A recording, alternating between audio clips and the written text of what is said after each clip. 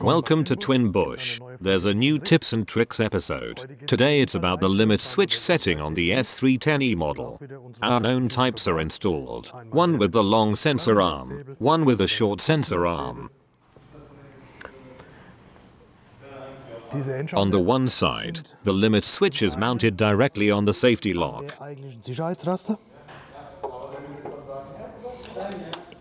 Montiert. Und wir haben And we have the limit switch with the short arm fixed to the side of the base frame. am seitlichen Grundrahmen befestigt.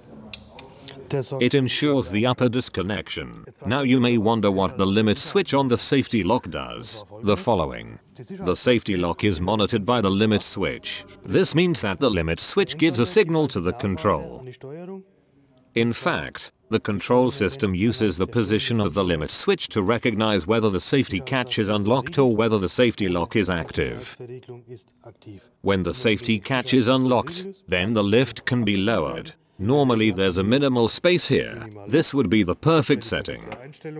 If the catch is still engaged, the lift would go up a bit first to unlock. Now I'll show you how to adjust the limit switch. It's very easy. A size 3 Allen key is required. Schlüssel, Größe 3.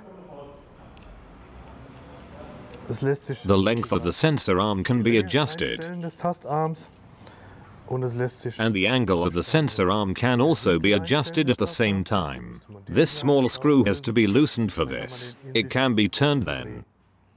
A second limit switch is also installed, the one with the short sensor arm. It can also be adjusted with the size 3 Allen key. It's installed for the upper disconnection.